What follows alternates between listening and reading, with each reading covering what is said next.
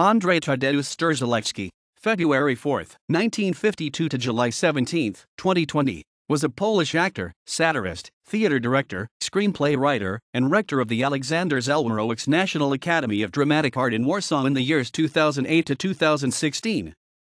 In 1974, he graduated from the acting department of the National Academy of Dramatic Art in Warsaw, and in 1978 from the directing department. He played on stage in the Variety Theater, 1974 to 1981, and the Rampa Theater, 1987 to 1997, in Warsaw. As a TV announcer, he has hosted a number of programs for Telewizja Polska.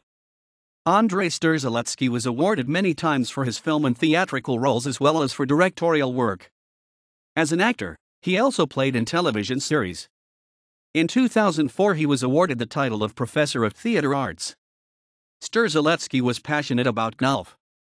He died of lung and bronchial cancer,